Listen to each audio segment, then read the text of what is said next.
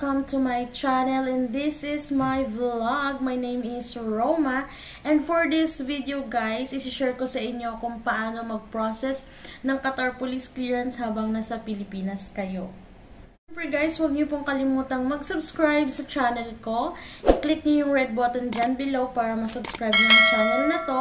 And i-push niyo rin yung bell dyan at gawin yung all notification para ma-notify kayo sa lahat ng video na i-upload ko. Umpisan ko sa mga requirements. Meron akong list dito kasi nililista ko po talaga para hindi ko makalimutan yung sasabihin ko. Sa case ko guys, ito ang mga um, papel na hinanda ko bago ko i-process ang aking Qatar Police Clearance. So, number one is yung Sandrai fingerprint in BI and request letter and then affidavit of lost na naka-apostyle siya, passport, and ikama ID uh, or ikama number.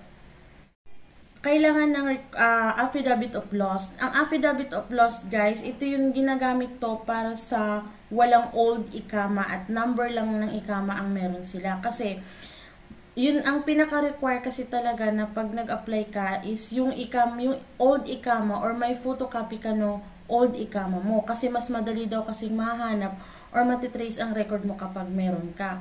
So, sa case ko guys, wala kasi akong old ikama, ikama IDs, pero may ikama number ako kasi nakita ko sa mga resibo ng remittances ko na yun yung mga pinapadala ko sa Pilipinas kasi gumagamit tayo ng ikama ID kapag nagpadala tayo ng pera kapag nandun ka sa bansang Qatar or sa Middle East ka nang galing. Yun. So, kaya meron akong affidavit of loss na naka-apostyle at um, paano nga ba ako or paano ko to hinanda? Syempre hindi ko to magagawa kung walang tumulong sa akin na mas knowledgeable doon sa paghahanda nito. So, guys, kaya kailangan ko ng affidavit of loss kasi wala nga akong old ikama ID. Kaya, kailangan kong mag uh, uh, magpagawa or gumawa ng affidavit of loss na kailangan naka-apostyle siya through DFA. Excuse me.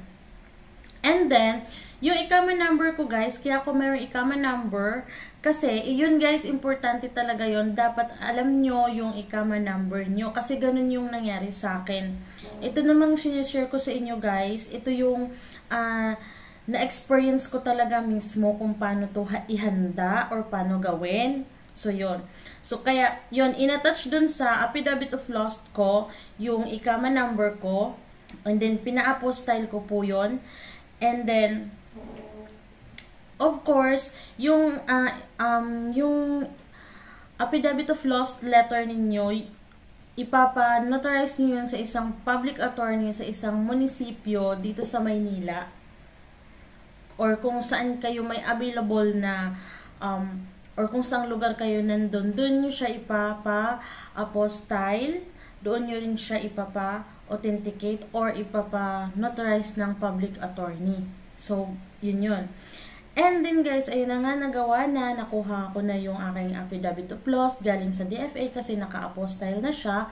So may request letter na ako. Sa request letter guys, mamaya sasabihin ko sa inyo kung ano ang draft, draft nun, kung paano gawin yon um, actually, sasabihin ko na lang sa inyo kung anong carrier na mag-a-assist sa inyo kung paano gawin ang uh, request letter ninyo.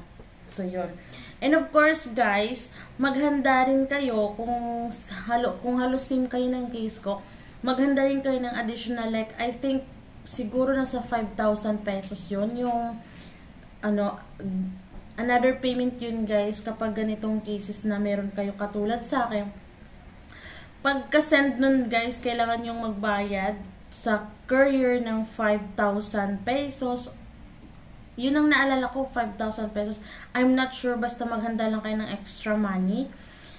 So, yung 5,000 pesos na yun, hindi yun napupunta sa courier na nagpa-process o nagpa, nagdadala ng mga documents natin. Mapupunta yon sa pag ipapa-authenticate pa rin ulit kasi itong mga papers na to sa embassy.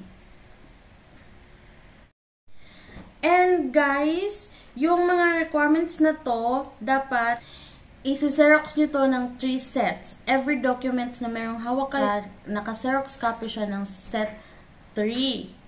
Yon, yun yun. So, yun, yun guys. And, ang legit na courier na nag assist talaga na masasabi kong two thumbs up ako sa kanila is yung W Express. Kasi sa request letter, inassist nila ako kasi yung sa tumutulong sa akin, ang magaling siya gumawa ng letter pero hindi pala yun ta, hindi yun masyadong tatanggapin. So, inassist nila ako kung paano gawin ang request letter ng, ng for the uh, police clearance in Qatar.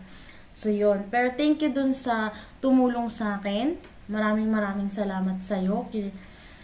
And then, ayun guys, na-process na, na-send ko na yung requirements ko through uh, W Express. And then guys, kapag wala namang masyadong kapag walang masyadong hassle sa mga documents ninyo and wala kang bad records, hindi naman babalik yung mga papel mo para uh, hindi ma-approve yung process nun at hindi ka makakuha ng Qatar Police Clearance. Dapat importante guys na wala kang bad records sa Qatar. Yun. And then, kapag na-process na yun guys, talagang exact 2 months siyang makukuha or marireceive mo kung saan address mo siya ipapadeliver. So, yun lang guys. Sana may naintindihan kayo sa vlog na to. And kung may tanong kayo at kaya kong sagutin, feel free to comment down below guys.